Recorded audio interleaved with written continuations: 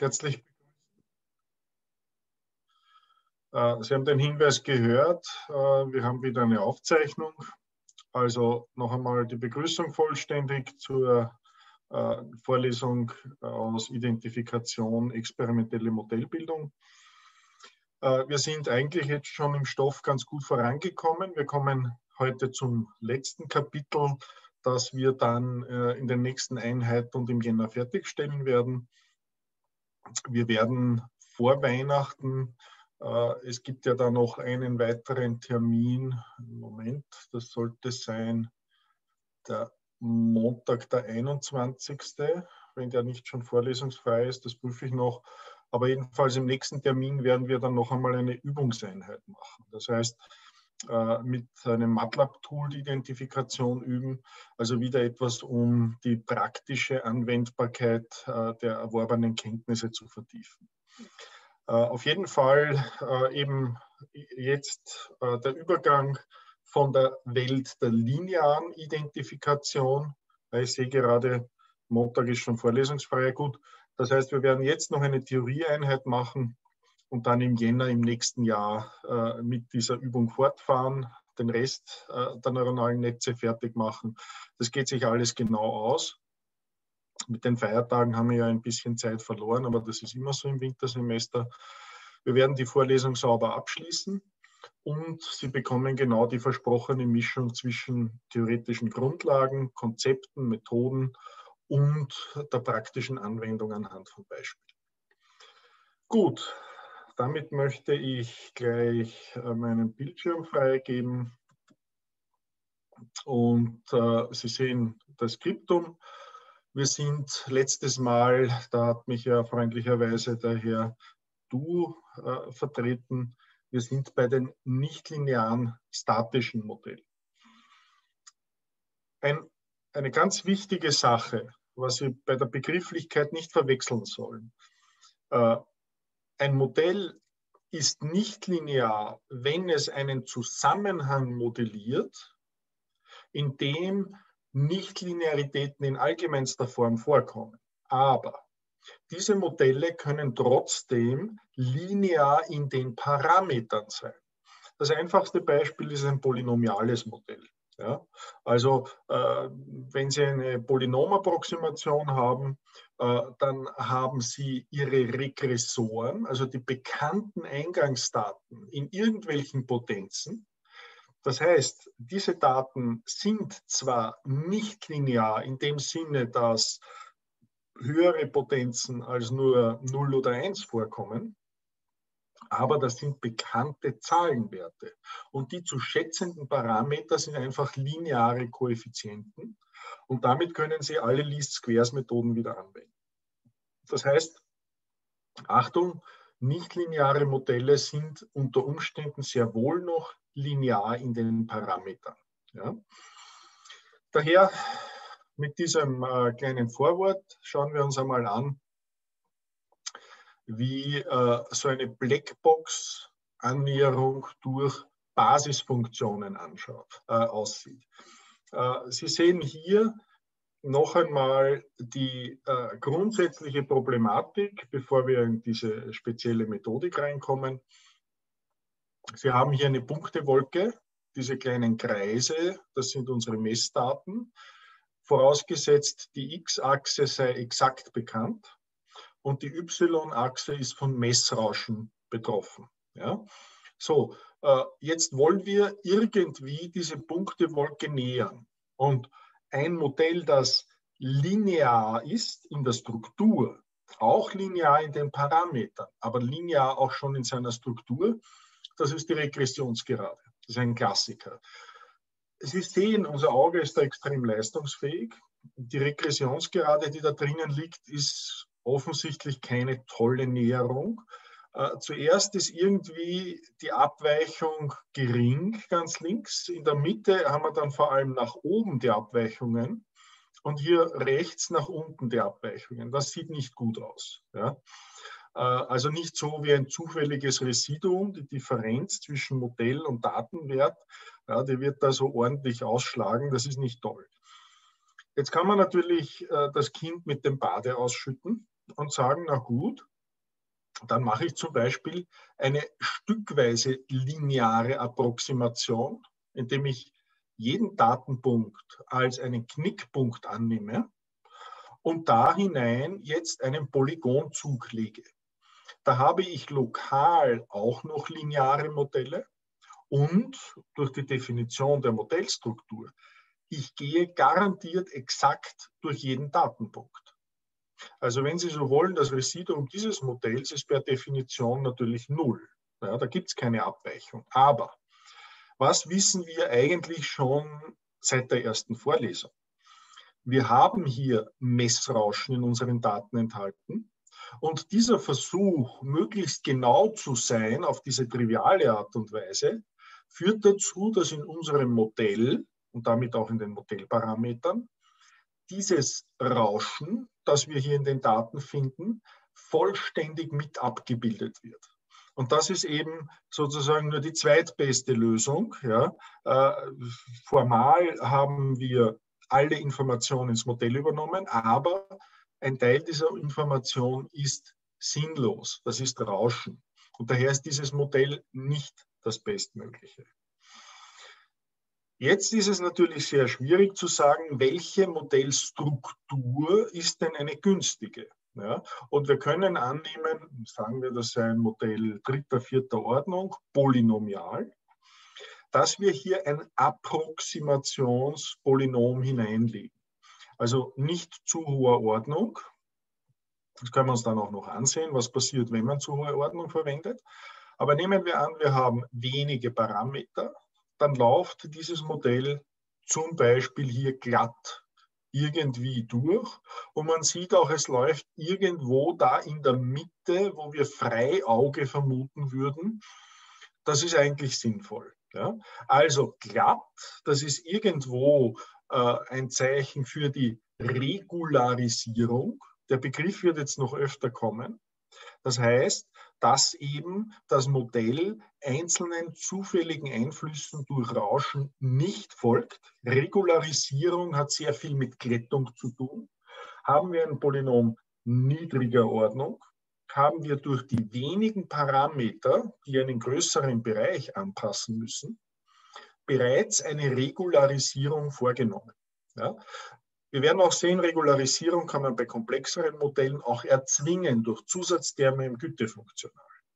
Aber, und das ist das Wichtige, ich versuche hier eine Struktur, eine Modellstruktur reinzubringen, die hier in dem Fall schon nicht linear sein muss, die damit den mittleren Verlauf der Daten besser abbildet. Und gleichzeitig muss ich Sorge dafür tragen, dass meine Modellstruktur nicht zu komplex wird, und damit den Daten, dem Rauschen in den Daten, im Detail nachfolgen kann. Das ist, wenn Sie so wollen, auch ein bisschen eine Kunst. Es gibt ja hier nirgendwo den Beipackzettel zu diesen Messdaten. Was ist die perfekte Modellordnung? Was ist die perfekte Modellstruktur? Äh, welche Regularisierung wäre anzuwenden? Das gibt es nicht. Ja? Sie müssen also rein aus den Daten hier Strukturen hineinlegen.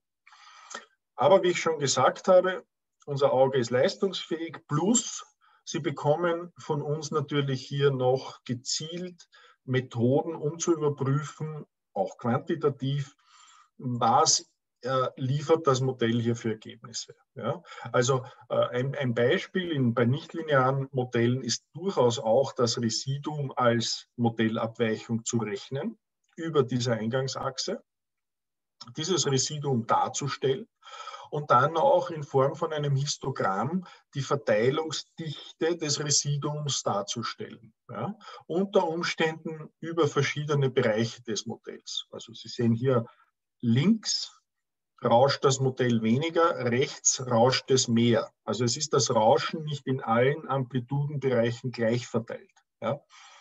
Also da gibt es, äh, gibt es natürlich statistische Spezialbegriffe, aber der Punkt ist, das ist alles sehr anschaulich und naheliegend, wenn man sich mit Modellierung und Identifikation beschäftigt hat, dass man auch danach trachtet, nachher in der Validierung die Ergebnisse entsprechend darzustellen. Gut, das heißt, Sie sehen hier Approximation, Interpolation, äh, das ist eine, äh, ich würde mal sagen, das ist die zentrale Geschichte in der ganzen Modellbildung, aber ganz besonders natürlich in der nichtlinearen Modellbildung, weil wir eben so eine Fülle an unterschiedlichen Modellstrukturen schon haben, mit denen wir hier approximieren können. Also gehen wir mathematisch auf das Polynom ein. Es ist so, wie ich Ihnen gesagt habe, äh, x ist hier die unabhängige, exakt bekannte, äh, bekannte Größe. Das heißt, diese x sind die Regressoren. Äh, nachdem das x exakt bekannt ist, ist jede dieser Potenzen von x exakt bekannt. Die Unbekannten sind diese Alpha 0 bis Alpha n.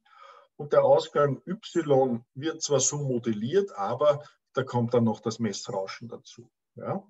Das heißt, äh, wir können wieder ganz klassisch unsere Regressor-Matrix aufstellen und Sie sehen, äh, wir beginnen hier, weil wir mit den Potenzen ansteigen, mit einem 1-Eintrag, einer Spalte, weil die zu dem A0-Vektor dazugehört. Also das ist x hoch 0 gleich 1. Und daher kommt diese Spalte hier. Ja, und äh, was haben Sie jetzt für ein Problem? Offensichtlich haben Sie hier äh, ein Least-Squares-Problem, wo Sie diese Parameteranzahl n, ja, ist ja sehr viel kleiner typischerweise. Hier ist es als eindeutiges äh, System noch aufgestellt mit yn, ja, gleich viele Gleichungen wie Unbekannte. Aber jetzt können Sie natürlich die Regressormatrix und den Ausgangsvektor weiterschreiben. Ja. Das hier was Sie hier sehen, ist das Interpolationsproblem, aus dem natürlich sofort durch zusätzliche Messungen das Extrapolationsproblem und damit die Approximation gleichzeitig hervorgeht. Ja? Äh, schauen wir uns das in einem Beispiel an. Äh, ich habe Ihnen da Daten generiert. Äh, das ist eine Sinuswelle, eine Sinusperiode mit relativ starkem Rauschen. Das ist äh, normal verteiltes weißes Rauschen. Und jetzt sehen Sie hier drinnen mit der MATLAB-Funktion Polyfit Polynom-Approximationen. Äh, die ideale unverrauschte Funktion, die quasi das perfekte Modell wäre, das ist die hier dünn durchgezogene Linie. Das ist ein echter Sinus. Äh, und die beiden anderen Linien, die Sie sehen, ist ein Modell dritter bzw. fünfter Ordnung. Ja.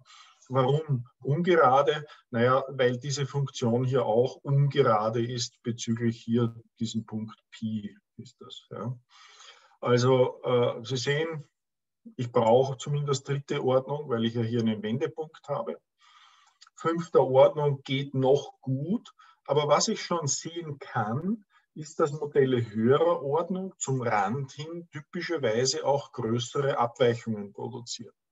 Und das ist die grundsätzliche Warnung bei derartigen Modellen. Ja. Wenn Sie Polynomapproximationen durchführen, ich gehe hier auf äh, einen Datensatz, der real ist oder näher an der Realität, dann äh, bekommen Sie in den Randbereichen sofort Probleme. Und zwar schon in den Interpolationsbereichen des Randes. Von der Extrapolation spreche ich noch gar nicht, die wird meistens unbrauchbar. Ja? Äh, Beispiel hier. Wir haben ein bisschen einen komplexeren funktionalen Zusammenhang. Das ist diese durchgezogene Linie. Die habe ich durch Überlagerung verschiedener Funktionen gebildet.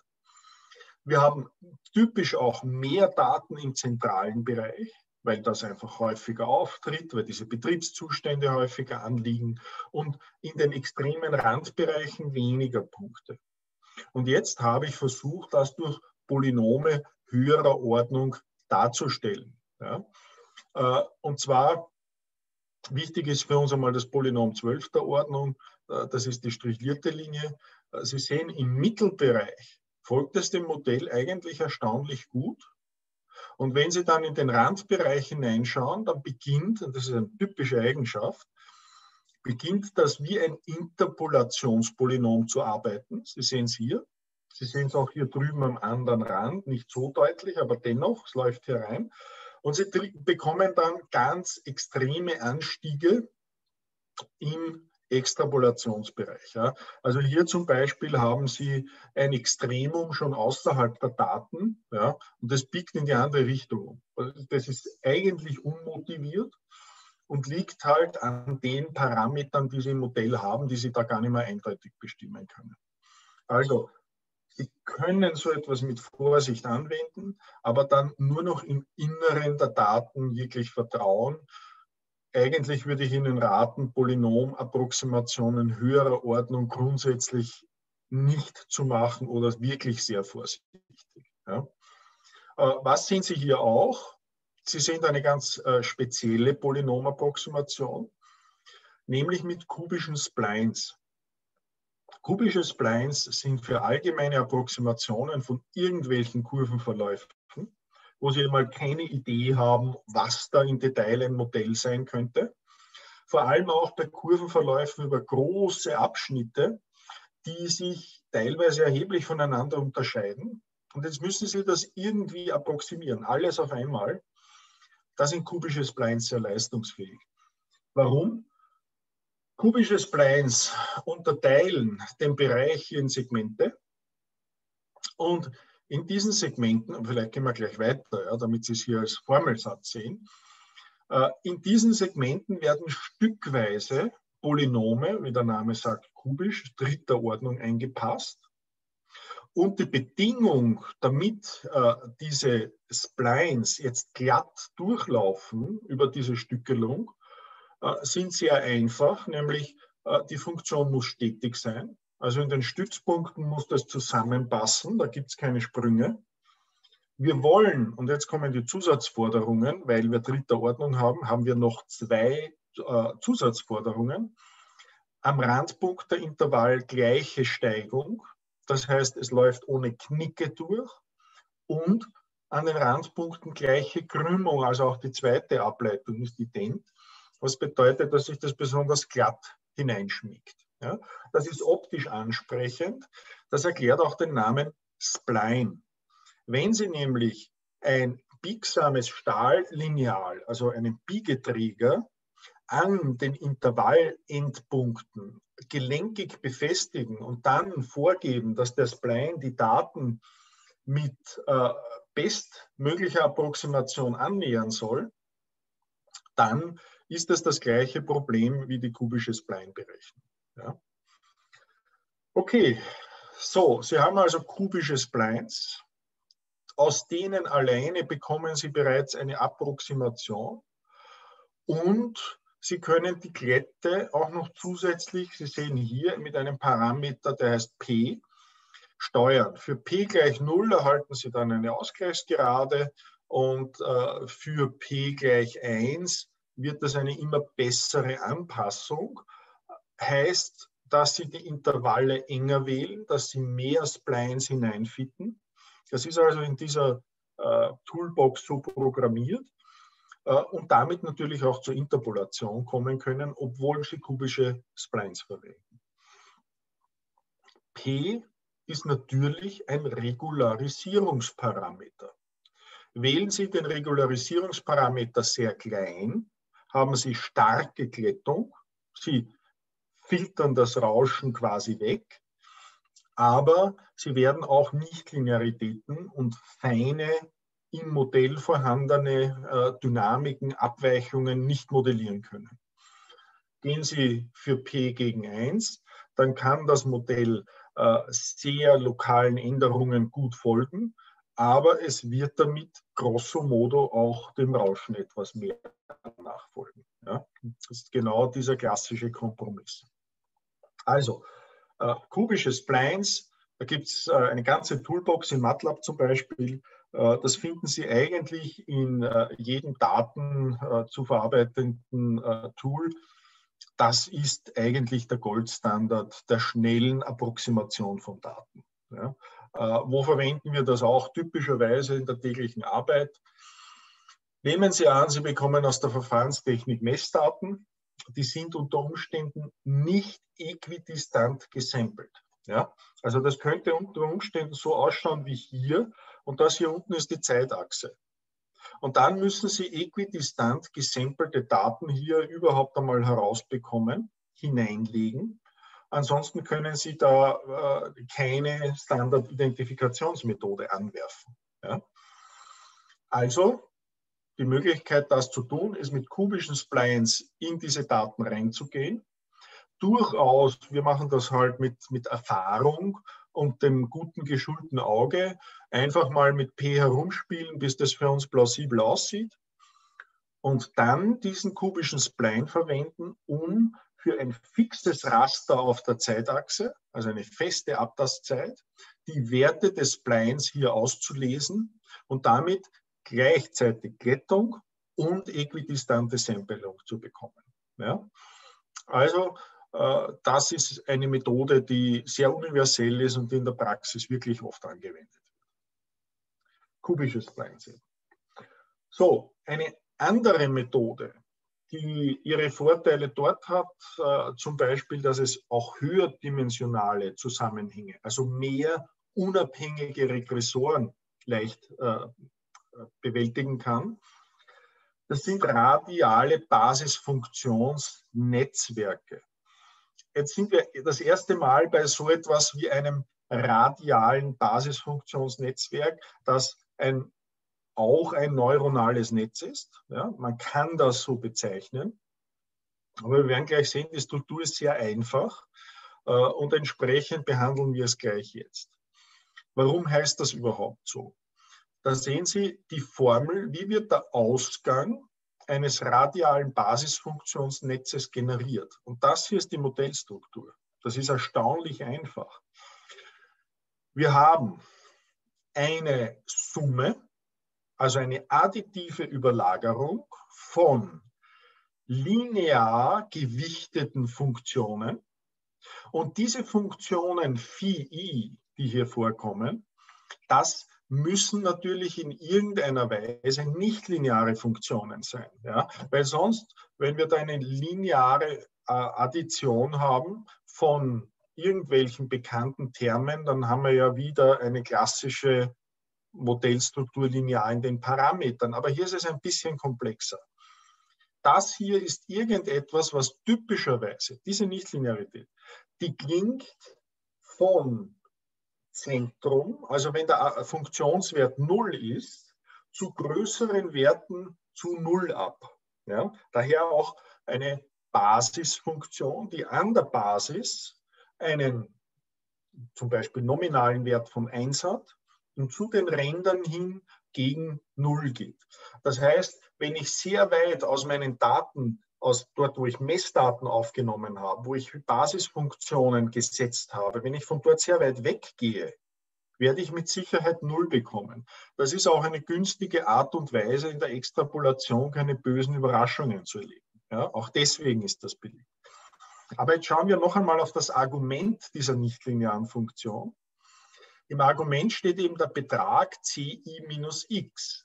Und das CI ist das sogenannte Zentrum der Basisfunktion phi. Das ist einfach eine Koordinate im Regressorvektor x. Ja? Also x kann viele Koordinaten beinhalten. Ja? Einfach vorgestellt zum Beispiel zwei Koordinaten x1, x2 spannen eine Ebene auf.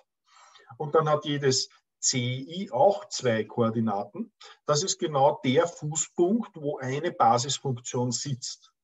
Über diesem Fußpunkt ist diese Basisfunktion, hat sie ein Extremum, ein Maximum. Und je weiter ich vom Fußpunkt wegkomme, und Sie sehen hier, das ist eben äh, die euklidische Distanz, daher radial, egal in welche Richtung ich vom Zentrum weggehe. Ich habe dann eine Höhenschichtlinie, die gleich hoch ist und, und daher eine Basisfunktion, radiale Basisfunktion. Äh, zum Beispiel eine äh, typische Wahl dafür, jetzt hat man schon im Gefühl, äh, ist eine Gauss-Funktion. Ja? Also die Gauss-Funktion ist sehr beliebt als Basisfunktion für die radialen Basisfunktionen. Also gehen wir gleich hier zu einem Beispiel, das ist eindimensional. Sie sehen, in die schwarze durchgezogene Linie ist irgendetwas, das wir approximieren wollen. Und de facto, ich habe es natürlich umgekehrt aufgebaut, das Beispiel, aber de facto ist die schwarze Linie die Überlagerung dreier Gauss-Funktionen. Und Sie sehen, eine Basisfunktion hat das Zentrum bei minus 2, eine bei 0 und die andere bei 1,5. So, und jetzt schauen wir uns die Parameter an. Hier offensichtlich sind schon zwei grundverschiedene Parameter. Der eine Parameter ist das Zentrum. Achtung, das Zentrum ist im Argument einer nichtlinearen Funktion. Also das Zentrum ist selbst sicher kein linearer Parameter. Aber diese Gewichtung der radialen Basisfunktionen, die geht linear in die Optimierung ein. Und das ist sehr angenehm, dass man zum Beispiel schon, äh, ich, ich sage mal ganz salopp, die Hälfte der Parameter hier, die kann ich durch Least Squares in einem Schuss optimal finden. Das ist schon etwas sehr Hilfreiches. Ja. Wo ich die Zentren wähle, das sagt mir das Modell nicht. Da brauche ich irgendwelche schlauen Algorithmen, um die Zentren grundsätzlich mal zu setzen und in der Folge dann weiter zu optimieren. Ja? Äh, hier ein Beispiel, äh, ein, ein, einfacher Algorithmus wäre, ich schaue mir die Originalfunktion in schwarz an, die ich durch Daten gegeben habe. Äh, ich schaue mir an, wo hat die das absolute Maximum und setze dort meine erste äh, Gauss-Funktion hin, meine erste Basisfunktion. Sie sehen, das ist gar nicht so weit weg von dem, wo wir dann tatsächlich eine finden. Dann lege ich diese Basisfunktion schon mal fest und passe sie über List Squares Optimierung an an die Daten. Und dann bleibt mir ein Rest über. Und der Rest werden zwei Hügel sein, einer hier und einer hier. Und bei jedem lokalen Extremum lege ich dann wieder eine Basisfunktion hinein. Ich beginne immer dort, wo die Abweichung am größten ist. Und so lange arbeite ich hier mit automatischem Einfügen von Basisfunktionen, bis das Residuum, also die Abweichung von diesem RBF-Netzwerk, unter eine gewisse Schranke gefallen ist. Ja? Zu diesem Zeitpunkt kann man noch großzügig sein, mit einem großen Residuum leben, denn in der Folge kann man dann die Zentren hier freigeben und in einer nichtlinearen Optimierung diese Zentren variieren. Ja? Das heißt, äh, Sie können sich vorstellen, die Zentren hier drinnen die rutschen jetzt ein bisschen nach links und nach rechts. Und zum Beispiel mit einer Gradientenmethode wird herausgefunden, in welche Richtung rutschen ist besser, bringt mir eine Verbesserung. Und dann rutsche ich so lange in diese Richtung, bis es wieder schlechter wird. Und so rutsche ich dann da herum und jede Basisfunktion darf variiert werden. Nach jedem Variationsschritt muss ich natürlich diese Least-Squares-Lösung hier bestimmen, aber die ist nicht schwierig. Ja, wir wissen, das geht sehr effizient. Und auf diese Art und Weise kann ich ein RBF-Netz auch äh, optimieren. Aber ich habe schon einen nichtlinearen Optimierungsschritt notwendig für die Zentrumswahl. Eine Frage ist noch offen. Wo steckt der Regularisierungsparameter der Regularisierungsparameter hier drinnen, der ist implizit in der Auswahl dieser Gauss-Funktionen. Denn wenn ich sage, ich will hier eine Gauss-Funktion, die Höhe der Gauss-Funktion ist unproblematisch. Ich habe ja äh, meinen linearen Faktor hier vorne. Der wird ja sowieso angepasst an die Daten. Aber, also ich kann mit, immer mit normierten Gauss-Funktionen, was die Höhe betrifft, anfangen. Aber das Spread oder die Varianz dieser Gauss-Funktionen, man spricht dann bei RBF von Spread, ja, das ist natürlich inhärent ein Regularisierungsparameter. Stellen Sie sich vor, ich habe hier lauter sehr kleine, ich schaue mal, haben wir das irgendwo hier? Nein, nicht wirklich. Aber stellen Sie sich schon in dem Beispiel vor, ich habe äh, Gauss-Funktionen, wo jede innerhalb von zwischen 0 und 1 zum Beispiel hier aufklingt, eine Spitze hat und wieder abklingt. Ich könnte ja mit dieser Form der Funktion auch arbeiten. Dann finde ich aber nicht mit drei Funktionen das Auslangen, sondern ich werde, jetzt sage ich eine Hausnummer, äh, 1, 2, 3, 4, 5, 6 mal 2 von diesen schmalen Funktionen brauchen, damit das da halbwegs glatt wird. Und wenn ich in den Daten starkes Rauschen habe, dann werde ich mit diesen spitzenkleinen Gauss-Funktionen natürlich in den Daten auch schon wieder anfangen, hier herumzuwackeln. Ja?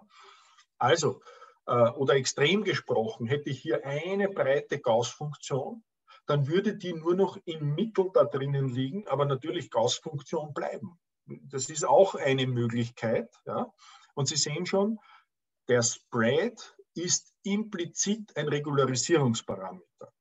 Und de facto wählt man dann den Spread als Nutzer a priori versuchsweise aus, zum Beispiel von großen zu kleineren Werten hin, und lässt dann immer automatisiert diese äh, Schleife der Optimierung durchlaufen, vergleicht das Ergebnis und hofft, dass man dann zu einem guten Kompromiss kommt.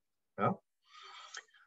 Was Sie schon sehen hier in der Anwendung von radialen Basisfunktionsnetzwerken, Sie kommen sehr schnell schon zu notwendigen nichtlinearen Optimierungsschritten und die Beurteilung, ob das Ergebnis gut oder schlecht war, die erfordert schlicht Expertenwissen oder sehr viel Probieren. Ja?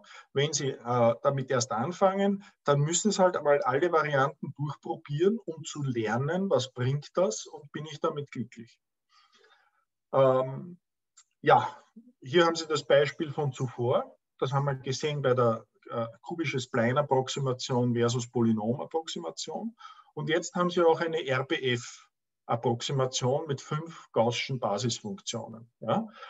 Der Spread ist natürlich schon sinnvoll und passend hier gewählt worden. Und Sie sehen dort, wo viele Daten sind, sind wir so gut wie eine Polynomapproximation. Da am äußeren Rand passiert das, was Gauss-Funktionen eben machen. Sie klingen garantiert ab. Ja? Also wenn Sie nicht da draußen lustigerweise ein Zentrum hinsetzen, was ich Ihnen nicht rate, weil da sind keine Daten mehr, Zentren setze ich immer innerhalb der Daten, dann bekommen Sie am Rand immer Abklingen gegen Null. Das heißt, Sie können beim Extrapolieren erwarten, dass hier keine Katastrophen passieren. Das ist ein Feature. Das hat halt auch Nachteile, dass vielleicht in dem einen oder anderen Datensatz dann Randdaten auch nicht mehr gut abgebildet werden. Aber äh, das ist genau die Eigenschaften von einem RBF-Netz. Okay, so. Wir haben jetzt kurz nur statische Modelle besprochen. Ich, ich gehe noch zu einer Abbildung, ja, weil das aus einem Forschungsprojekt kommt.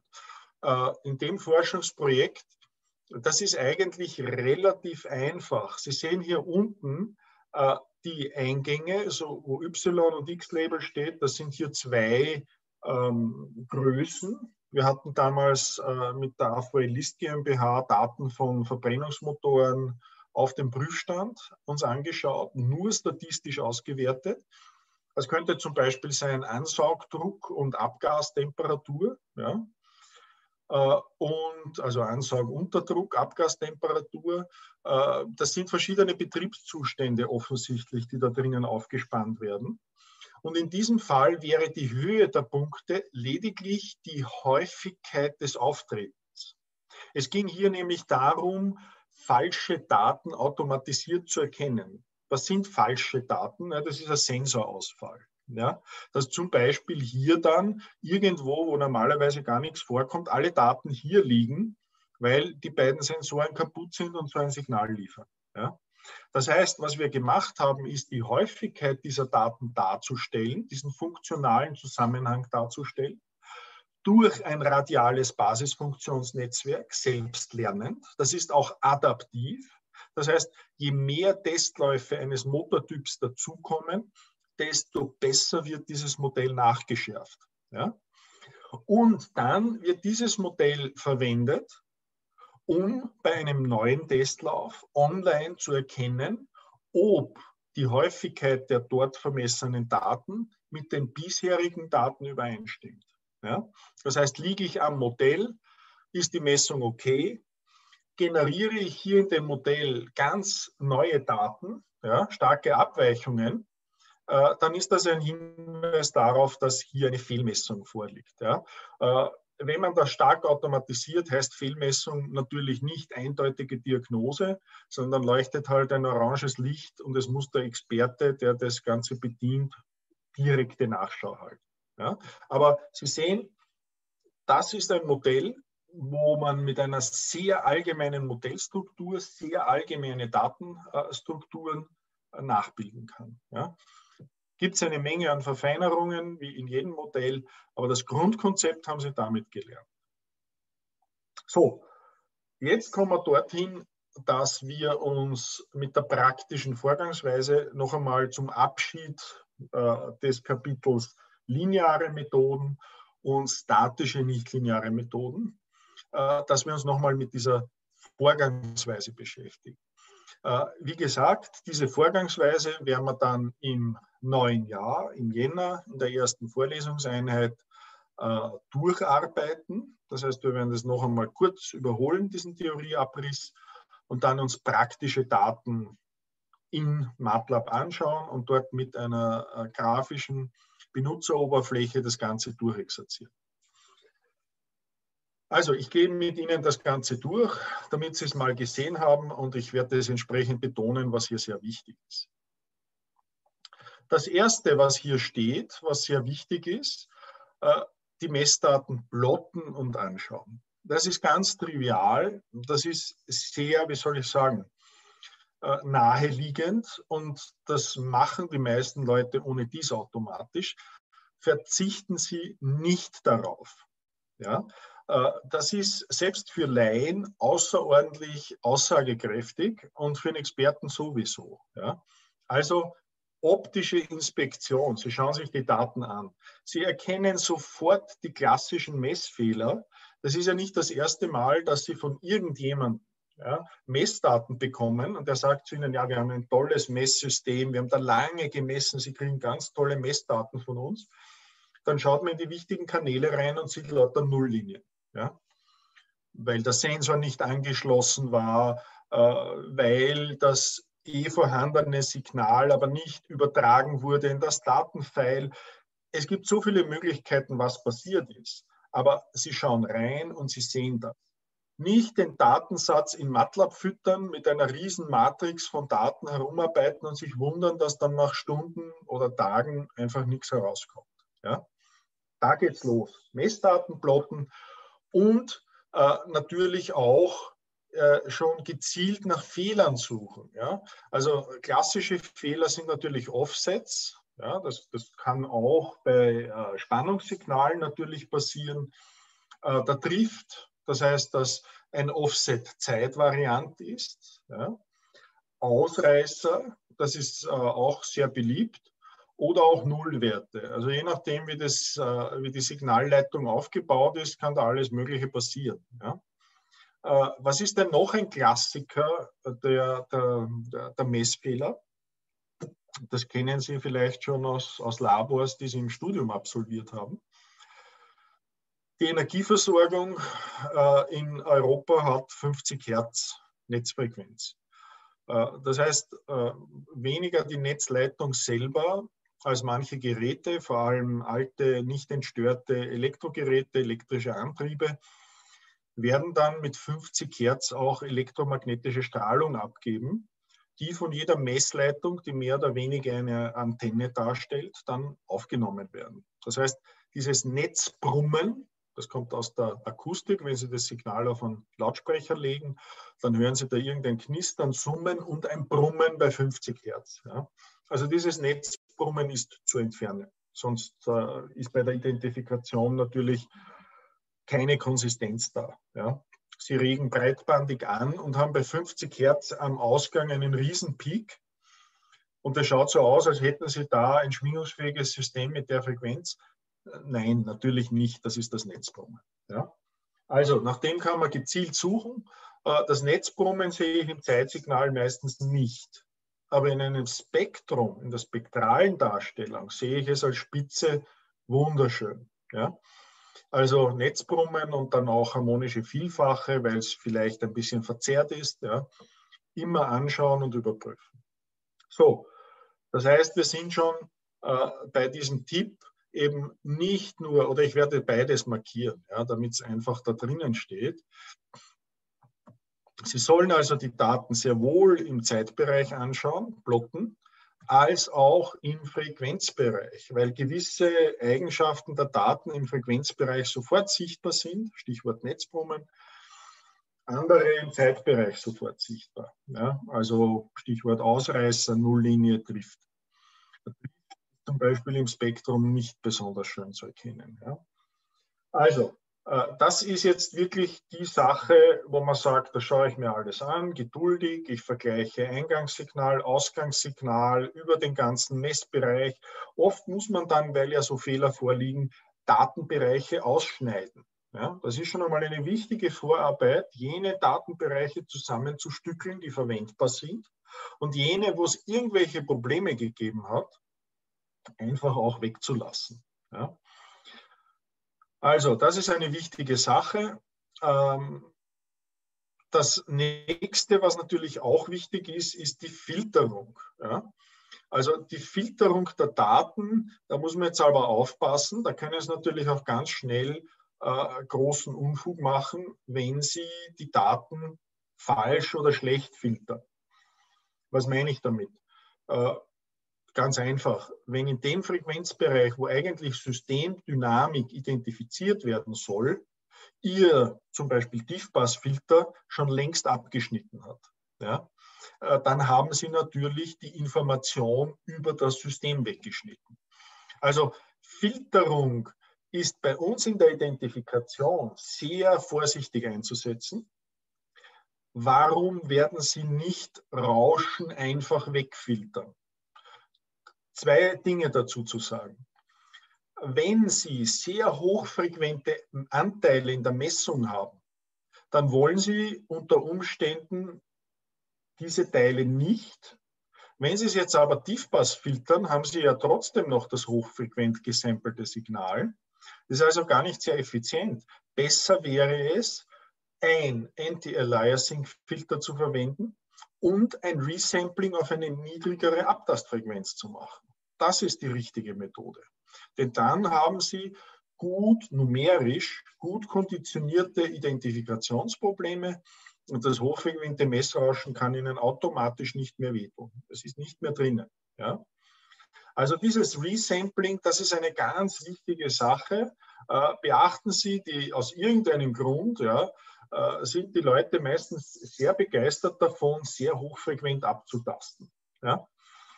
Äh, womit sie meistens reine Stochastik erfassen und äh, den Messdatenspeicher um den Faktor 10 aufblähen, ohne dass da irgendein sinnvoller Informationsgehalt drinnen wäre.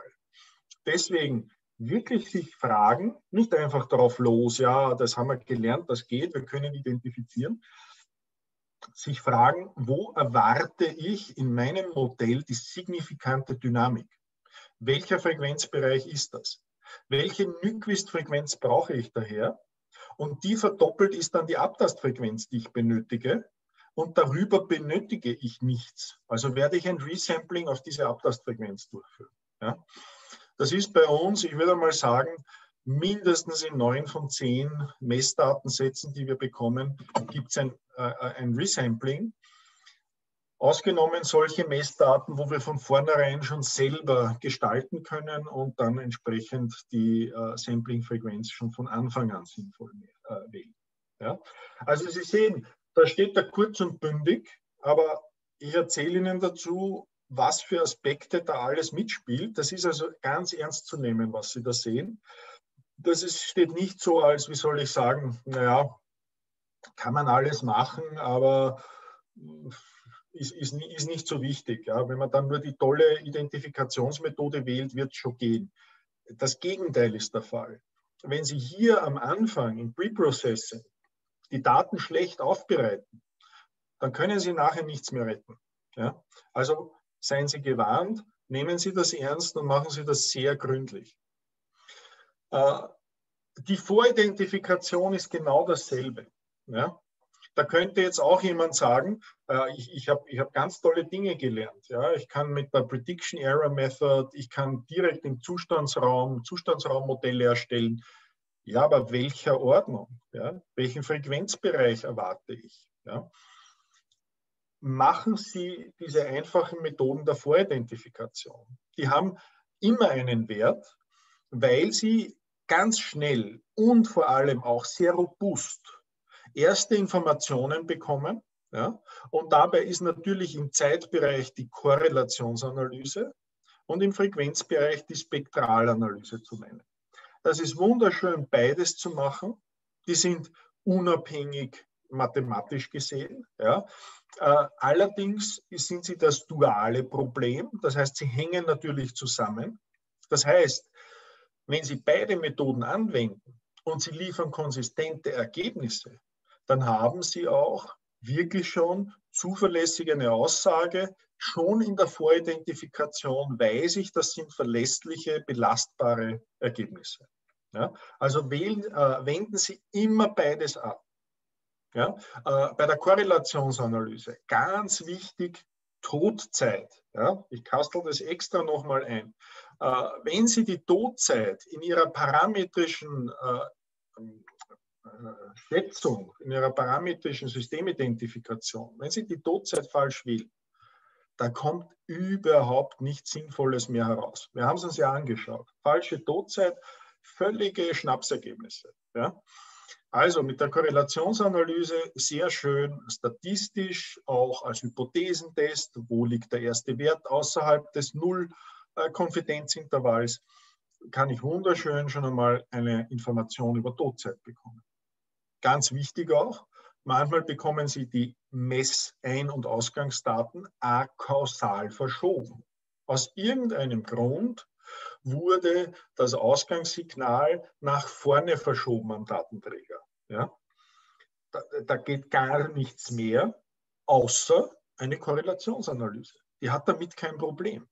Und Sie sehen, dass Sie akausale Daten haben, was Ihnen überhaupt kein Problem macht, denn Sie verschieben es dann einfach selber händisch auf eine Todzeit von 1. Das ist die Standardformulierung eines diskreten Modells und Sie können wieder alle Methoden anwenden.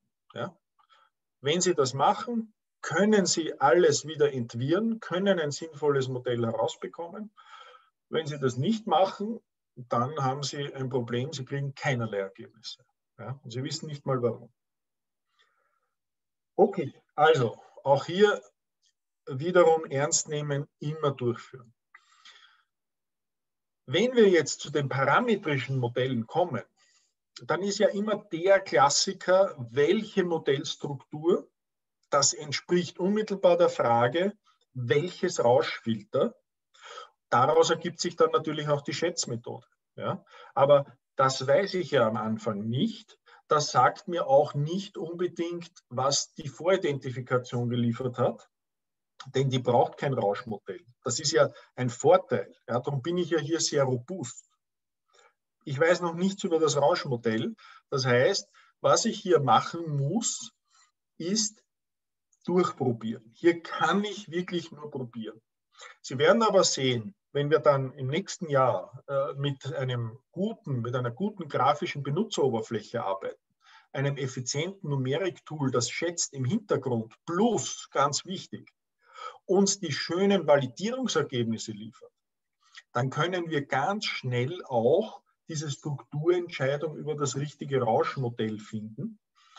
Wobei, ich mache jetzt wieder diese grundsätzliche Einschränkung. Denken Sie daran, das habe ich immer wieder gesagt, in der Realität gibt es gar kein ARX-Modell, Armax oder was sonst immer. Ja? Sie finden hier nur jenes Modell, das bei einer minimalen Parameteranzahl und damit besserer Generalisierung die vorhandenen Messdaten in der Validierung gut annähert. Das heißt, ein einfaches ARX-Modell, das trotzdem relativ gut ist, wird im Allgemeinen immer ein Box-Jenkins-Modell ausstechen, das noch ein bisschen besser ist. Denn es geht man nicht um die zwei Prozentpunkte mehr Performance, wenn ich dafür die doppelte Parameteranzahl haben muss. Ja? ich sage Ihnen das so salopp. Ja, schreiben Sie das nicht mit als Zahlenwert äh, und sagen Sie, das hat der Kotze gesagt, das muss so sein. Das ehrt mich zwar, stimmt aber so nicht. Es geht hier darum, eben zu sagen, das bestmögliche Modell hat einen guten Kompromiss zwischen geringer Komplexität, das umfasst auch geringe Parameteranzahl, und einer allgemein guten Performance. Also nicht nur bei Ihrem speziellen Validierungsdatensatz, sondern auch immer später noch, was ich nicht unmittelbar überprüfen kann, aber was durch die geringe Parameteranzahl eher gegeben ist. Ja? Also ganz wichtig, gezieltes Probieren mit einem guten Tool, schnell die Validierungen durchlaufen und dann kann ich mich hier iterativ von einfachen zu komplexeren Modellstrukturen verlässlich durcharbeiten und nachher einen guten Kompromiss finden und auch dokumentieren. Ja? Äh, für die Modellordnung gilt genau das Gleiche. Ja? Äh, ich werde mit niedriger Modellordnung bei jeder Struktur beginnen und mich langsam vorarbeiten. Dazu aber, da muss ich nicht blind alles ausprobieren. Ich habe schon die Voridentifikation, also ich weiß ungefähr die Komplexität der Dynamik wenn ich mit dem ARX-Modell ja, äh, eine Identifikation mit steigender Ordnung durchgeführt habe und ich komme drauf, unter Ordnung 3 geht mit dem ARX-Modell gar nichts, dann brauche ich nicht nachher bei AMAX nochmal Modellordnung 1 und 2 probieren. Ja, weil so groß ist der Strukturunterschied nicht. Das wird mir auch keinen Vorteil bringen. Ja. Oder Todzeit. Ja, wenn es äh, um die Todzeit geht. Sie sehen hier mit der Korrelationsanalyse habe ich ja schon eine Schätzung der Todzeit. Wenn ich da reingehe, dann in die parametrische Identifikation, probiere ich noch einmal, indem ich diese Todzeit variiere und schaue, ob beim parametrischen Modell mit dieser Todzeit auch die besten Ergebnisse rauskommen. Also zwei unabhängige Verfahren, um die Todzeit zu evaluieren. Habe ich das aber gemacht, zum Beispiel mit dem ARX-Modell, habe ich die Todzeit festgelegt, dann werde ich die später nicht mehr angreifen. Denn das ist etwas, was sehr sensibel ist. Habe ich die richtig, ist es für jedes folgende Modell, äh, für jedes folgende Rauschmodell auch gültig. Ja? Also äh, Korrelationsanalyse, Sie sehen es, hier ist es äh, sozusagen prototypisch gezeigt. Sie bekommen hier ja eine Schätzung der Impulsantwort. Und Sie bekommen hier, das macht MATLAB für Sie automatisch, ein Konfidenzintervall für die Nulllinie. Und da sehen Sie, die ersten 1, 2, 3, 4 Abtastwerte des Ausgangs liegen innerhalb der Nulllinie, bevor der fünfte signifikant heraussticht.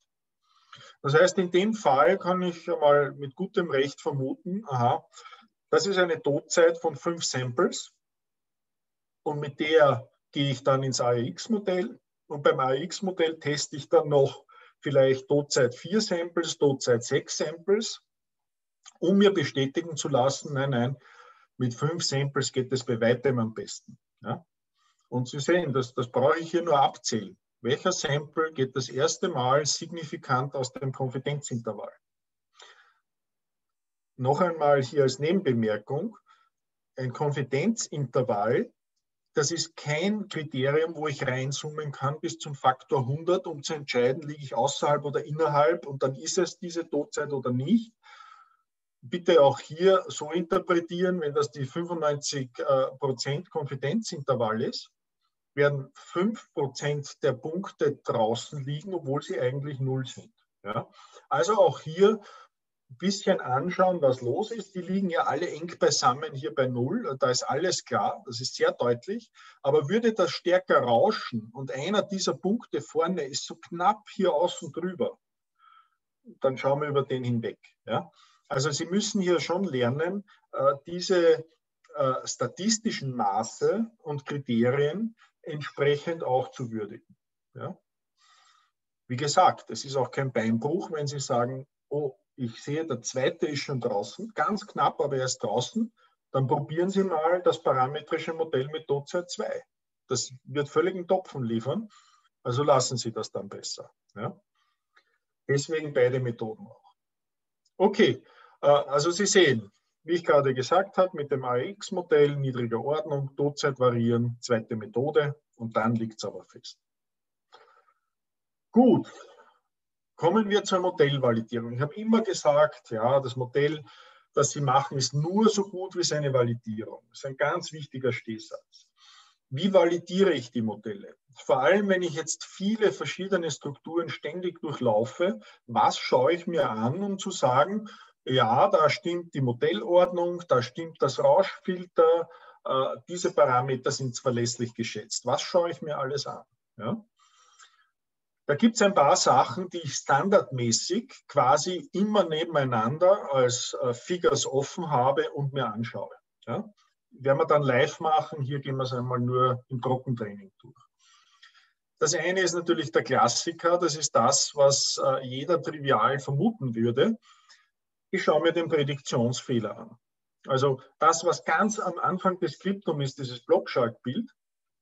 Ich teile meine Daten auf, das haben wir jetzt nicht gesagt, weil es ja eh so oft gesagt wurde, aber bitte auch nicht vergessen im Preprocessing.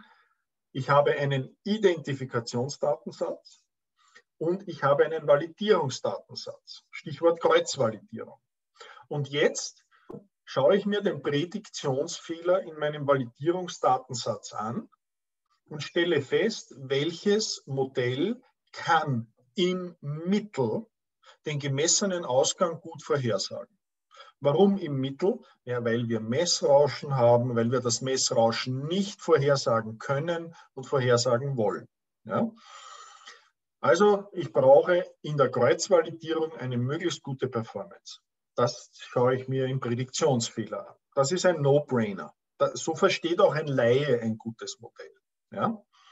So, äh, was muss ich mir aber auch anschauen? Ja, Trainingsvalidierungsdaten habe ich schon gesagt. Ich muss jetzt ein bisschen nach dem Text vorgehen, dass ich, das, dass ich Sie da nicht verwirre. So, die Modellordnung. Ja. Bei der Modellordnung gibt es eine ganz einfache Sache. Je höher das Modell in seiner Ordnung wird, desto besser kann es die Daten approximieren. Bei einer Kreuzvalidierung gibt es irgendwo ein Optimum, aber das ist nicht sehr deutlich und ausgeprägt. Ja? Es gibt aber eine sehr sensible Darstellung, um zu hohe Modellordnung zu erkennen. Ja? Und ich sage dazu, zu niedrige Modellordnung wird immer dazu führen, dass der Prädiktionsfehler groß ist. Ich, ich kann einfach nicht abbilden, was der Ausgang macht.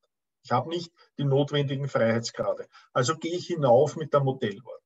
Okay? Also zu niedrige Modellordnung kann ich mit dem Prädiktionsfehler abfangen und zu hohe Modellordnung, indem ich in einen Pol-Nullstellenplot schaue. Ja? Hier haben Sie äh, ein Modell, äh, das habe ich selber generiert, mit dem Modell habe ich Daten generiert und dann habe ich mit der Toolbox identifiziert. Und die Toolbox liefert genau diesen Pole Zero Plot von meinem Modell natürlich. Ja, das ist das identifizierte Modell. Und da sehen Sie, mit einer Nullstelle und drei Polen bekomme ich dieses Porträt hier. Ich habe also, wir sind zeitdiskret, ja, im Einheitskreis, stabiles Modell äh, konjugiert komplexe Pole, ein reeller Pol, eine Nullstelle. Okay, ja. Jetzt habe ich zu diesem System noch einen Pol und eine Nullstelle hinzugefügt, also im Zähler und im Nennerpolynom um eins die Ordnung erhöht. Wo sind die hingegangen, dieser Zusatzpol und diese Zusatznullstelle? Die liegen sehr nahe am Einheitskreis und sie liegen nahezu deckungsgleich. Denken Sie daran, wenn Zähler und Nennerpolynom faktorisiert sind in Klammerausdrücke mit Polen und Nullstellen und ich habe im Zähler und im Nenner fast das gleiche stehen bei einem Pol und einer Nullstelle, was bedeutet das? Das bedeutet, ich kann die kürzen. Ja? Und selbst wenn es nicht exakt ist, diese Kürzung, dann kann ich es näherungsweise kürzen. Das heißt, wenn ich eine Partialbruchzerlegung mache, haben die winzig kleine Residuen. Ja? Was heißt das? Es wirkt sich nicht aus in der Dynamik. Umkehrschluss, die Dynamik, die durch diese Ordnung hier gegeben war, war absolut ausreichend, um den Ausgang zu erklären. Alles, was ich jetzt noch hinzutue, ja, da ist sogar noch eine Nullstelle dazugekommen, das habe ich übersehen, ja, Sie sehen ja, die Lage der Pole ändert sich nicht. Die, die, Nullstelle, die hier reell war, die bleibt ungefähr bei gleichem Wert und wird dann halt so eine konjugiert komplexe Nullstelle. Aber da ändert sich auch nicht viel in der Wirkung. Das hier ist das Entscheidende. Ich sehe, da habe ich was dazu getan, was gar nichts bringt. Und wenn Sie da jetzt weitermachen, wieder besseren Wissens, dann bekommen Sie typischerweise diesen Einheitskreis, ja, nehmen wir an, Sie haben noch sechs Pole, sechs Nullstellen dazu getan, dann wird dieser Einheitskreis mehr oder weniger in gleiche Segmente unterteilt, also in gleiche Winkelabschnitte. Und immer an jedem äh, Endpunkt nahe beim Einheitskreis finden Sie dann immer eine Pol- und eine Nullstelle, die Sie nicht brauchen können. Ja? Also wenn Sie sowas sehen, dann wissen Sie sofort viel zu hohe Modellordnung. Sie können die drastisch reduzieren und deswegen und auch wegen des Rechenaufwands ist natürlich sinnvoll, von einer sehr niedrigen Modellordnung zu einer höheren Modellordnung schrittweise vorangehen. Immer zuerst die Pole erhöhen, dann die Nullstellen und so schrittweise raufgehen und schauen, wann habe ich das erste Mal dieses Phänomen. Ja, also ganz wichtige Sache, die, die oft einfach ignoriert wird. Obwohl es so trivial ist, wird es ignoriert. Und die Leute kommen mit irgendeiner Modellordnung, wenn man sagt, das ist ja komisch, ja, wieso ist denn das da siebter Ordnung, so Übertragungsfunktion, die habe ja äußerst selten, dass die irgendwo einen Sinn hätte. Naja, die war am besten im Prädiktionsfehler. Ja, beste Performance scheinbar nach einem einzigen Kriterium, aber ich warne Sie davor, das eben so eindimensional durchzuführen. So, und jetzt kommen wir zum Rauschfilter. Jetzt haben wir ja nur die, die Ordnung der Übertragungsfunktion gesprochen.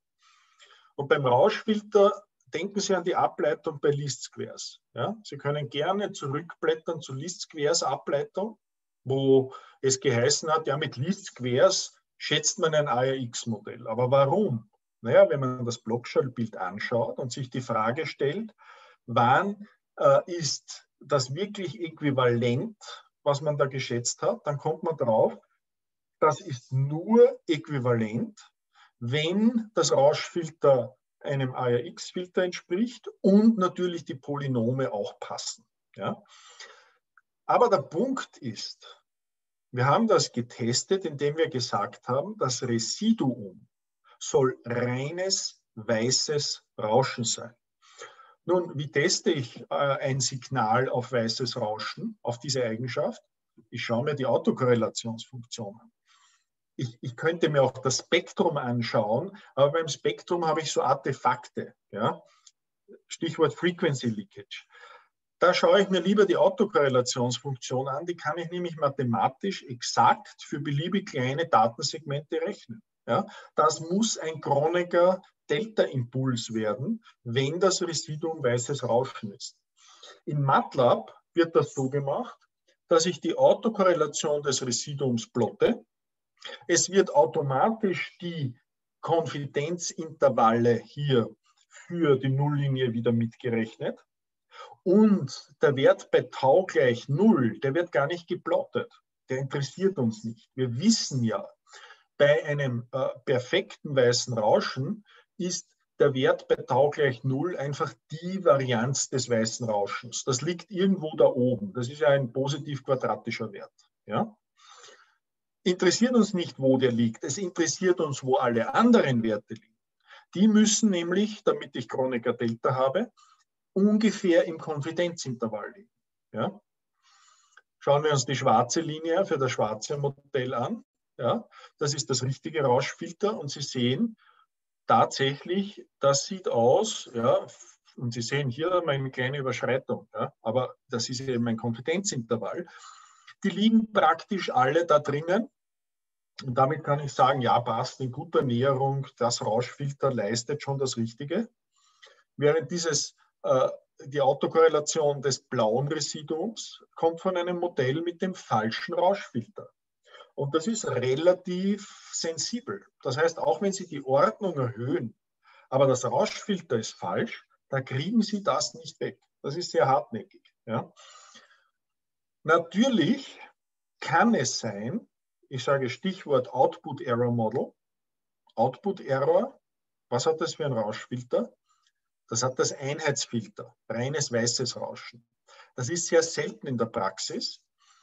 Dieses Modell liefert aber oft niedriger Ordnung sehr gute Prädiktionen. Ja? Also das äh, Kriterium der Vorhersage des Modells ist bei niedriger Ordnung schon sehr gut, aber die Autokorrelationsfunktion schaut gar nicht gut aus. Ja? Das ist dann eine Entscheidung, die müssen Sie selber treffen, wo Sie sagen, ja, das Rauschfilter zeigt mir, also die Korrelationsanalyse zeigt mir, das ist kein Output-Error-Model. Das hat aber die Fähigkeit, niedriger Ordnung sehr gut den Ausgang vorherzusagen. Daher ist das auch eine mögliche Modellwahl. Ja? Aber Sie müssen es dokumentieren, dass eben die Residuenanalyse so ein Ergebnis gegeben hat. Und jetzt gehen wir noch ein bisschen feiner rein. Unser Rauschfilter ist eine Übertragungsfunktion. Wir haben daher einen Nenner, und ein Zählerpolynom. Und die Autokorrelation des Residuums, die sagt uns etwas über das korrekte Nennerpolynom, während die Kreuzkorrelation des Residuums mit dem Ausgang etwas über das Zählerpolynom sagt. Das heißt, hier können wir jetzt nicht nur die Struktur des Rauschfilters, sondern wir können auch etwas über die Ordnung des Rauschfilters sagen. Ja? Aber zum Beispiel Struktur, reicht uns ein ARX oder brauchen wir Armax? Denn ARX und Armax haben unter Umständen dasselbe Nennerpolynom, aber Armax hat zusätzlich noch ein anderes Zählerpolynom. Das heißt, beide würden hier gutes Ergebnis liefern, ja, in der Autokorrelationsfunktion des Residuums Nennerpolynom. Aber beim Zählerpolynom wäre das ARX-Modell schlecht, weil es einfach nicht passt. Hingegen hat das Armax-Modell hier die Möglichkeit, noch ein korrekt, ein besseres, äh, besser, mehr Freiheitsgrade äh, reinzubringen, um das besser anzunähern. Also Sie sehen, die schwarze Linie, sie weicht hier auch noch ein bisschen ab in der Kreuzkorrelation, ja, einmal, und dann liegt es aber deutlich besser drin. Also wenn ich diese zwei Kurven sehe, dann sage ich, naja, die theoretische Vorhersage ist nicht erfüllt, aber ich sehe ja schon, die Abweichungen da in dem blauen Modell sind deutlich signifikant größer. Also nehme ich doch, wenn die Parameteranzahl vergleichbar ist, die Performance vergleichbar, nehme ich lieber das schwarze Modell. Ja? Weil da kann ich guten Gewissens sagen, parametertreue Schätzung, weil Residuenanalyse auf ein korrektes Rauschmodell hinweist. Ja? Okay, das war's. Ja. Es gibt dann natürlich noch andere äh, Validierungsdarstellungen. Wir schauen uns das Bodediagramm an, wir schauen uns die Sprungantwort an, damit wir die Modelle auch im Vergleich sehen. Auch da kann man eine Menge daraus lernen und vieles damit machen. Aber im Grunde genommen sind das die wesentlichen Dinge, äh, die wir in der Validierung betrachten werden. Ja? Gut, das ist der Bereich lineare und ein bisschen die, die, die nichtlinearen statischen Modelle, die haben wir da dazu genommen, äh, wobei das willkürlich ist, die könnte man auch ins Folgekapitel reintun, in die künstlichen neuronalen Netze. Äh, nachdem wir eigentlich ganz gut in der Zeit liegen, würde ich Folgendes vorschlagen, dass wir heute äh, jetzt ohne Pause dann nur noch hineingehen, um einen Überblick uns anzuschauen, damit Sie vor Weihnachten schon ein bisschen etwas über neuronale Netze gehört haben und damit wir dort das nächste Mal quasi nahtlos anstückeln können. Ja. Gleich vorweg, die künstlichen neuronale Netze, das ist äh, keine ganz unglaublich magische Sache, sondern das ist nur eine weitere nichtlineare Modellformulierung, wo ich durch nichtlineare Parameteroptimierung Systemeigenschaften anpassen kann. Der wesentliche Vorteil künstlicher neuronaler Netze ist, dass sie in äh, sehr unterschiedlichen Varianten kommen, dass sie skalierbar sind, von sehr einfach zu sehr komplex in verschiedenen Dimensionen und aus diesem Grund mit quasi einer generischen Grundstruktur sehr viele unterschiedliche Aufgaben gelöst werden können. Ja? Äh, dazu auch ein Wort der Warnung. Diese Eigenschaften verwenden halt leider viele äh, Leute auch dafür, dass sie dann mit Kanonen auf Spatzen schießen. So nach dem Motto, das neuronale Netz kann ja alles approximieren, wenn es nur komplex genug wird. Also verwende ich immer ein neuronales Netz und modelliere mit dieser Struktur vielleicht Dinge, die man mit ein bisschen Recherche und ein bisschen Expertenwissen wesentlich eleganter, mit wenigen Parametern, mit besserer Generalisierung, also robuster hätte modellieren können. Ja? Sogar mit besserer Performance, alles gleichzeitig. Ja? Äh, also ein Beispiel, äh, wenn Sie das, äh, die, die Kinematik der, der Lenkung eines Fahrzeugs sich anschauen, das ist nicht linear.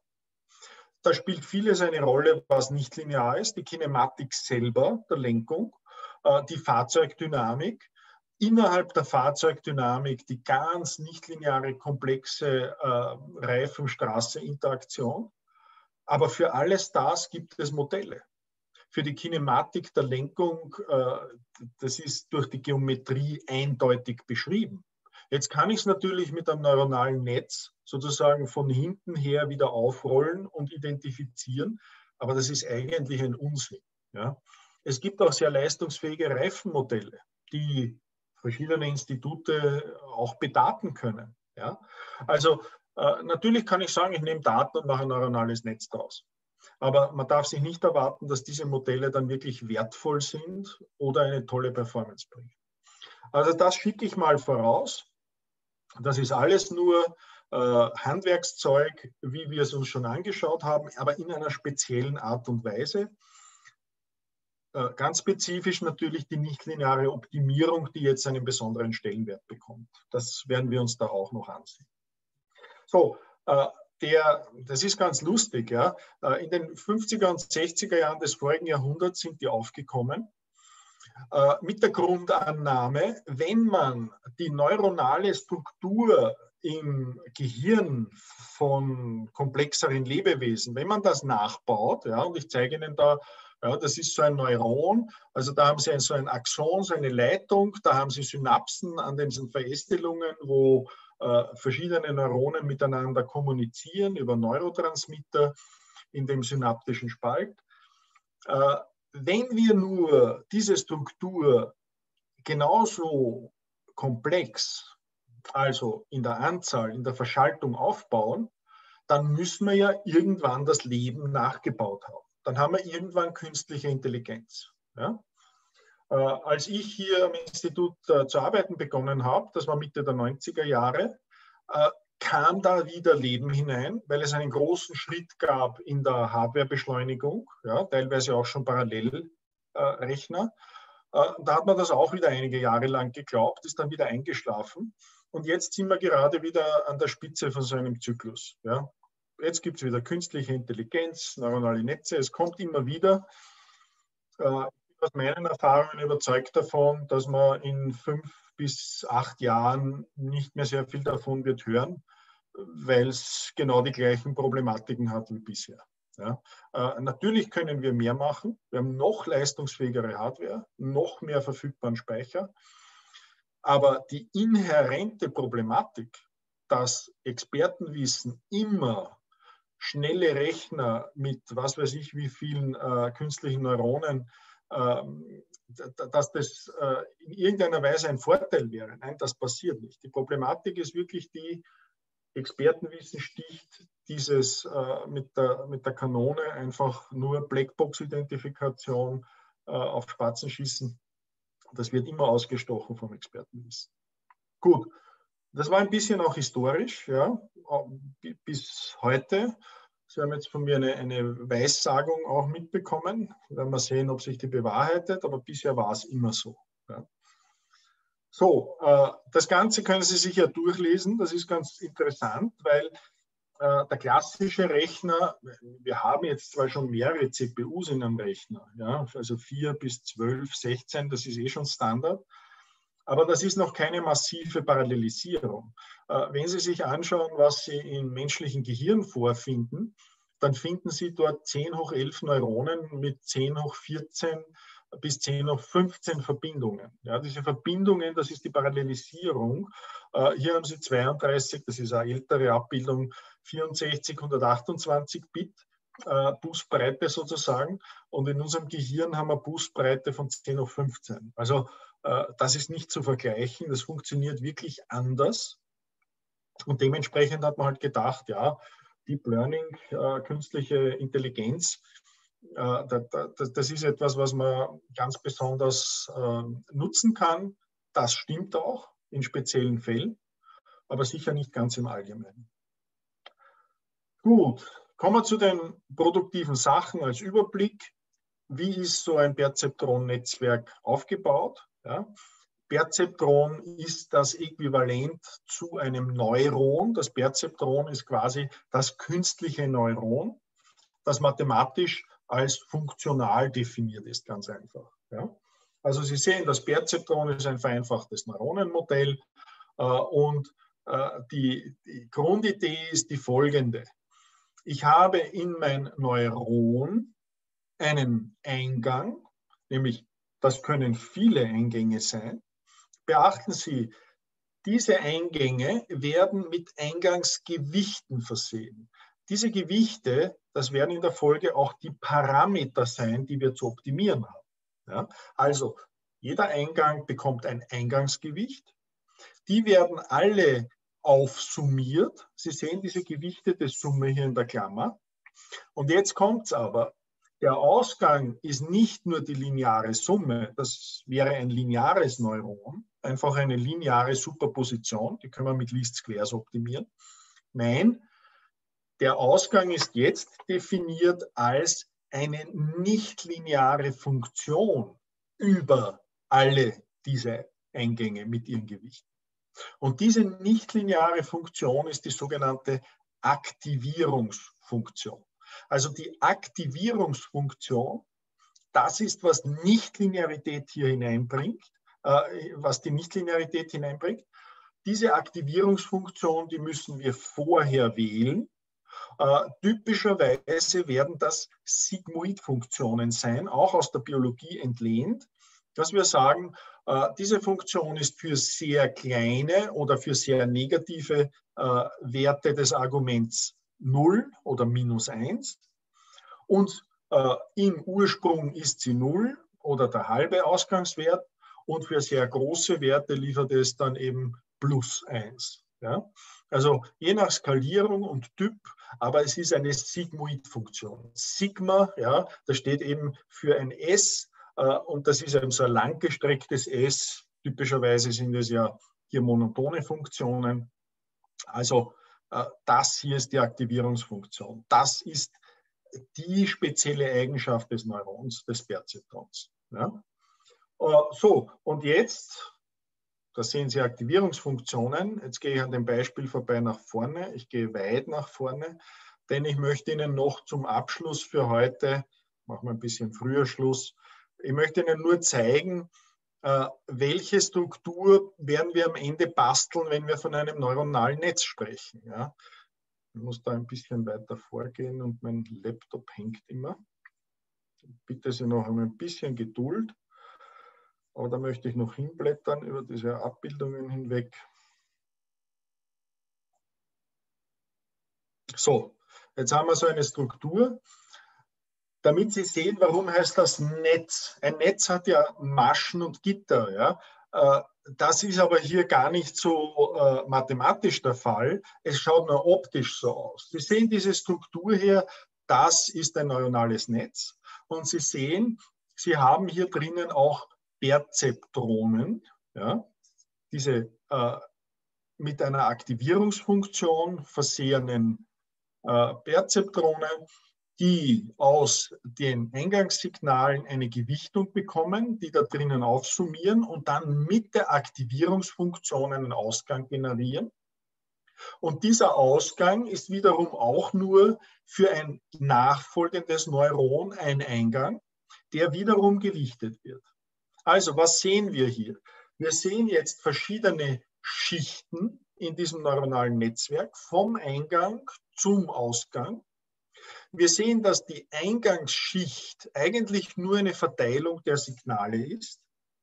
Wir sehen, dass dieses Layer, diese Schicht in der Mitte, das nennt man auch das Hidden Layer, die verborgene Schicht, weil es halt in der Mitte ist, ja, Dort steckt die Aktivierungsfunktion, da steckt die Nichtlinearität drinnen. Das ist gewissermaßen auch die spezielle Leistungsfähigkeit des neuronalen Netzes. Und wir sehen im Ausgangslayer, dass Ausgangs- oder die Ausgangsneuronen sind typischerweise wieder einfache lineare Neuronen. Die bilden nur eine lineare Superposition von all diesen Aktivierungsfunktionen. Also eigentlich eine einfache Struktur, erstaunlich leistungsfähig, aber dann, wenn die Anzahl der Neuronen hier im Hidden Layer entsprechend groß wird. Da gibt es eben einen, einen Satz, das haben Mathematiker bewiesen, analytisch. Wenn die Anzahl der Neuronen hier im Hidden Layer gegen unendlich geht, dann kann so ein neuronales Netz jeden linearen oder nichtlinearen Zusammenhang exakt abbilden. Und daher ist diese Struktur ein sogenannter universaler Approximator. Von dem kann man sich aber in unserem Fall in der Systemidentifikation nichts kaufen.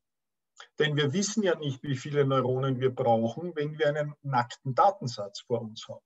Wir müssen wieder mit den Methoden der Systemidentifikation schrittweise Neuronen hinzunehmen, Identifikation durchführen, also Parameteroptimierung durchführen Validierung durchführen, bewerten, weiter ändern und iterieren. Ja?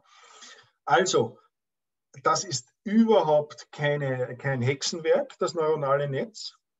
Das hat ausschließlich seinen coolen Namen aus der biologischen Äquivalenz.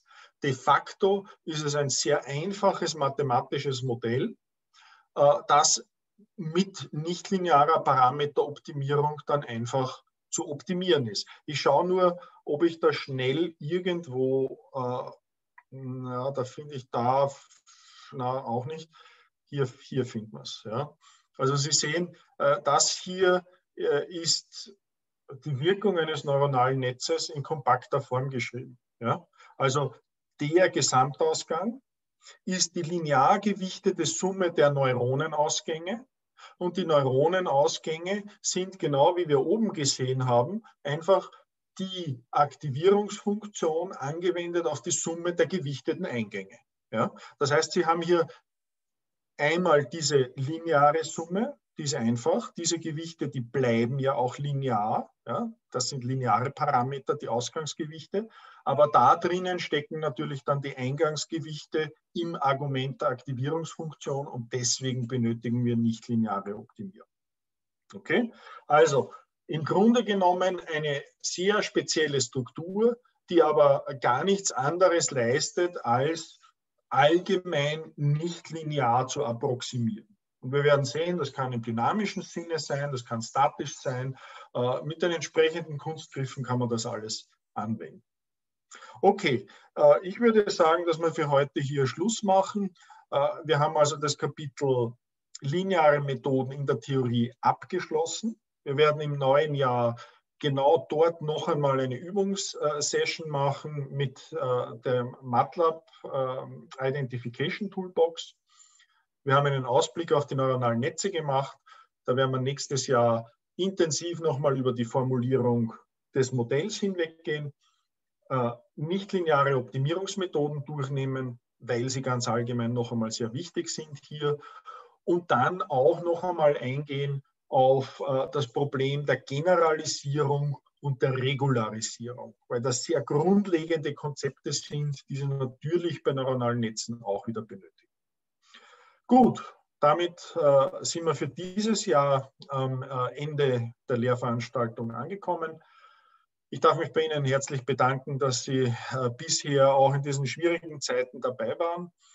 Äh, ich werde mich bemühen, dass wir dann im nächsten Jahr vielleicht auch noch einen Zusatztermin organisieren für Fragestellungen, dass Sie also nicht nur zu Hause passiv sich da berieseln lassen, sondern auch die Möglichkeit haben, Fragen zu stellen, dass man auch, wenn das wieder virtuell und interaktiv gehen muss, aber trotzdem, dass wir eine zusätzliche Fragestunde machen. Die kann ja auch für alle interessant sein. Und ansonsten wird es dann halt am Ende des nächsten Semesters das übliche Prozedere geben mit der Vereinbarung von Projekten zur Prüfung oder für mündliche Prüfungstermine. Ich bin da sehr flexibel. Ich komme Ihnen entgegen. Wann immer Sie wollen, werde ich versuchen, mir Zeit zu nehmen. Aber bis dahin haben wir noch ein bisschen was zu tun. In der nächsten Zeit, nächste Woche ist ja schon äh, vorlesungsfrei. Äh, vielleicht arbeiten Sie noch etwas, wenn aber nicht, wünsche ich Ihnen auf jeden Fall auch eine gute Erholung. Auch das ist wichtig. Schöne Feiertage, bleiben Sie gesund, bleiben Sie positiv gestimmt. Äh, äh ich darf da die Frau Merkel zitieren, wir schaffen das. Alles Gute, Wiederschauen. Ebenfalls, danke. Danke. Danke. Danke.